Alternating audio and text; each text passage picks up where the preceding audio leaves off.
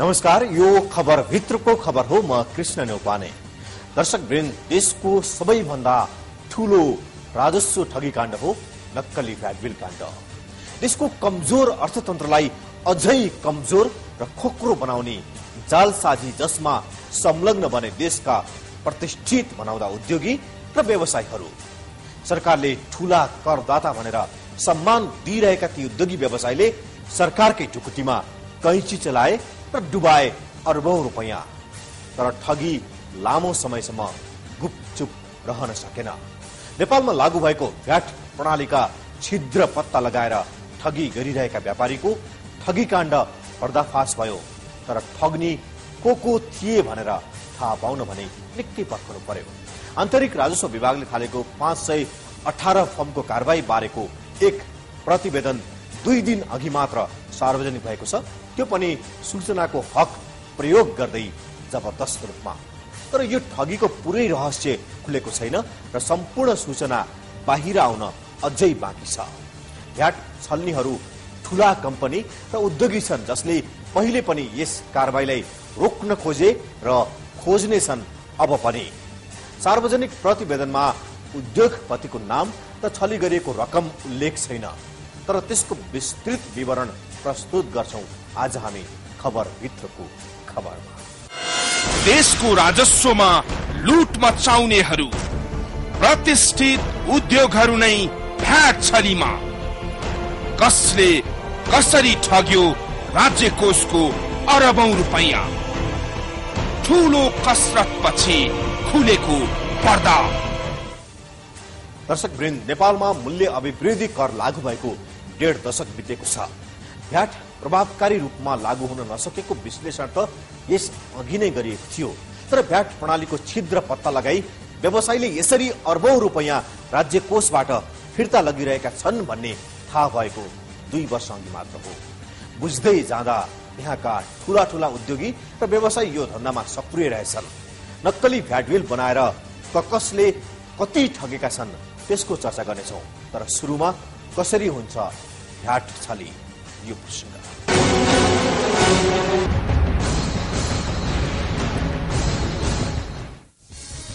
तपाईँ हामीले उपभोग गर्ने प्रत्येक सामानहरू बजारबाट किन्दा हामीले अप्रत्यक्ष रूपमा प्रत्येक सामानबाट निश्चित प्रतिशत कर व्यापारी मार्फत सरकारलाई तिरेका हुन्छौ। त्यस मध्येको एक कर हो मूल्य अभिवृद्धि कर।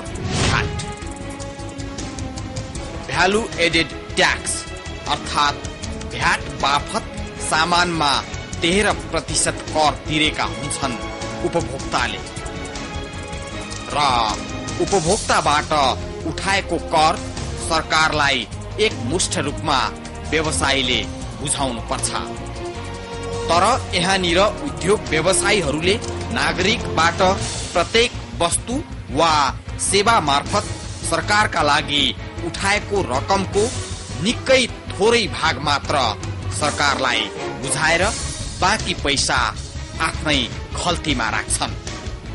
नागरिकले तिरेको रकम सरकारलाई छलेर आफ्नो खल्तीमा राख्ने गैर कानुनी काम हो भ्याट छली।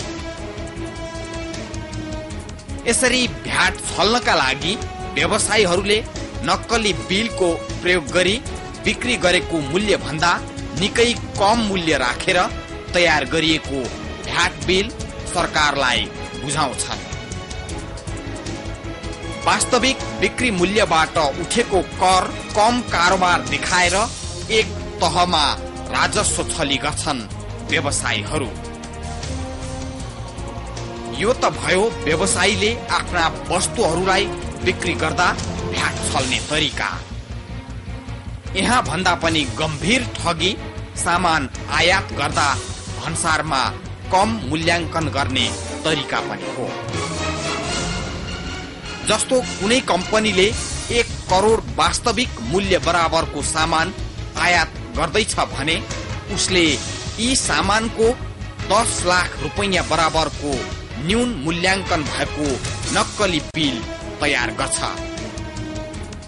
र त्यही रकम अनुसारको कर तिरेर नेपालमा सामान भित्र्याउँछ भित्रेको सामानलाई पनि बिक्री गर्दा फेरि नक्कली बिलको प्रयोग गरी तपाईँ हामीलाई सामान बिक्री गर्छ। र सामान खरिद गर्दा तपाईँले सरकारका लागि तिरेको रकम उसको खल्तीमा जान्छ। अर्कोतर्फ सामान निर्यात नै नगरी भ्याट फिर्ता लिने तरिका पनि व्यवसायीले अङ्गालेका छन्। एउटै कम्पनीले भ्याट छल्नका लागि दर्जनौ कम्पनी खोल्ने र कारोबार नै नगरिकन कम्पनीले सामान किनेको खर्च देखाएर आयकर छल्ने प्रवृत्ति पनि मौलाएको छ। यस्तै नक्कली निर्यात गरेर पनि भ्याट छली गर्ने देखिएको छ। एउटा कुनै कम्पनीले लाखौं रुपैयाँ बराबरको सामान कुनै भन्सार नाकाबाट विदेश पठाएको देखाउँछ। र सामान निर्यात भएको कारोबार र तथ्याङ्क बनाइन्छ। यस आधारमा सामान निर्यात गर्ने कम्पनीलाई सरकारले यहाँ तिरेको भ्याट फिर्ता दिनु पर्दछ कारोबारै नगरी यो तरिकाबाट फर्जी रूपमा सरकारको ढुकुटीबाट रकम फिर्ता गर्ने काम हुन्छ। यसरी देश कंगाल बन्दै जाने र व्यापारी मालामाल बन्ने क्रम चलिरहेको छ नेपालको व्यावसायिक क्षेत्रमा। यही गैर कानुनी काममा पल्किएकाहरूले यसरी गलत बाटो अपनाएर देशलाई ठगिरहेका थिए। तर यो भेद खुल्न गयो र बन्यो चर्चित नक्कली भ्याट बिल काण्ड। कुल पाँच सय अठारवटा नक्कली बिल बिजक प्रयोगकर्ताहरूको खाता नियन्त्रण लिई अनुसन्धान थालेको आन्तरिक राजस्व विभागले तीन सय पैसठीवटा केसहरूको अनुसन्धान सम्पन्न गरिसकेको छ। आन्तरिक राजस्व विभाग र त्यस अन्तर्गतका तेइसवटा आन्तरिक राजस्व कार्यालयले हालसम्म तीन अर्ब पैंतालिस करोड सोह्र लाख चालिस हजार बराबरको कर निर्धारण गरिसकेका छन्। जसमा मुलुकका प्रतिष्ठित औद्योगिक घरानाहरू पनि मुछिएका छन्। चौधरी गोल्छा दुगड शङ्कर विशाल जस्ता ठूला औद्योगिक घरानाहरूले करोडौं रकम नक्कली भ्याट बिल मार्फत छलेको देखिएको छ। उनीहरूको विवरण सहित उपस्थित हुनेछौ विश्रामपछि दर्शक व्यवसायीहरूले जे गरेका छन् त्यो ट्याक्स प्लानिङ हो। विदेशमा समेत आफूले तिर्नुपर्ने रकम कम गराउनको लागि ट्याक्स प्लानिङका अनेक तरिका अप्नाउने गरिन्छ। तर वैधानिक रूपमा मिल्नेसम्म त्यस्तो तरिका अप्नाइएको हुन्छ विदेशमा। तर यहाँ व्यवसायीहरूले जे गरे त्यो अवैधानिक रूपमा गरिएको ट्याक्स प्लानिङ हो र यो गम्भीर आर्थिक अपराध हो जसमा नाम चलेका उद्योगपति जोडिएका छन् र प्रतिष्ठित औद्योगिक घराना संलग्न छन्। कुनै पनि कमजोर आर्थिक अवस्था भएका मुलुकका लागि आमदानीको एउटा मुख्य स्रोतको रूपमा रहेको हुन्छ राजस्व। नेपालको कर प्रणालीको छिद्र पत्ता लगाएर भ्याट छली गरेको खुलेको छ र यो अवैधानिक ट्याक्स प्लानिङमा चौधरी गोल्छा दुगड जस्ता चर्चित औद्योगिक समूह तानिएका छन्।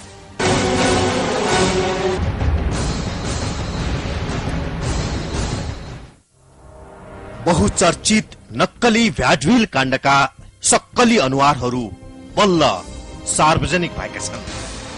त्यसो त यस अघि नै पनि भ्याट छलीमा संलग्न औद्योगिक घरानाहरूको चर्चा भएको थियो। तर आधिकारिक रूपमा बाहिर नआइसकेकोले अनुमानमै सीमित बनेको थियो। सूचनाको हक प्रयोग गर्दै आइतबार भ्याट छलीमा संलग्नहरूको नामावली अर्थ मन्त्रालयबाट लिन सफल भएपछि ती औद्योगिक घराना र फर्महरूको विवरण सार्वजनिक भएको छ। सार्वजनिक गरिएको विवरणमा उद्योगपतिको नाम र छल गरिएको रकम त उल्लेख छैन। तर नक्कली भ्याट बिल बनाएर राजस्व छली गर्न खडा गरिएका फर्महरूको नाम पनि उल्लेख गरिएको छ। र हामी तपाईँलाई चिनाउनेछौ त्यस्तो आर्थिक अपराधमा संलग्न फर्महरू र उनीहरूले डुबाएको राज्यको रकम। यो आर्थिक अपराधमा मुलुककै ठूलो औद्योगिक घराना Chaudhary group Golchha organisation Vishal group Shankar group Varun developers आठ भटेनी सुपर मार्केट र चमेलिया जलविद्युत आयोजनाको ठेकेदार कम्पनी संलग्न छन्। प्रतिष्ठित औद्योगिक घराना भनेर चिनिने चौधरी ग्रुप जसका अध्यक्ष विनोद चौधरी संविधान सभा सदस्य समेत छन्। चौधरी ग्रुप पनि नक्कली भ्याट बिल काण्डमा संलग्न देखिएको छ। चौधरी ग्रुपका चारवटा कम्पनी नक्कली भ्याट बिल कारोबारमा संलग्न देखिएका छन्।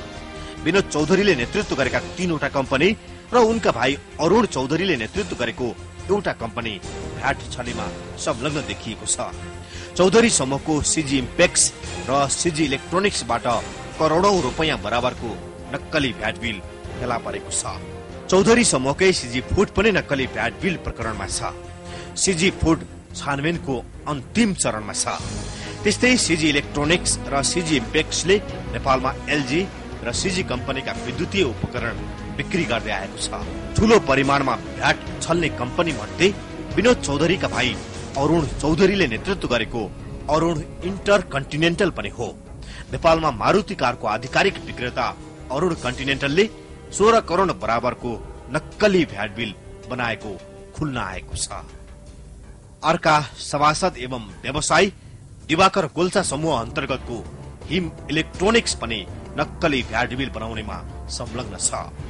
गोल्छा समूहका उदयमान निर्देशक शेखर गोल्छाको नेतृत्वमा रहेको हिम इलेक्ट्रोनिक्सले पनि ठूलो परिमाणमा भ्याट छली गरेको छ।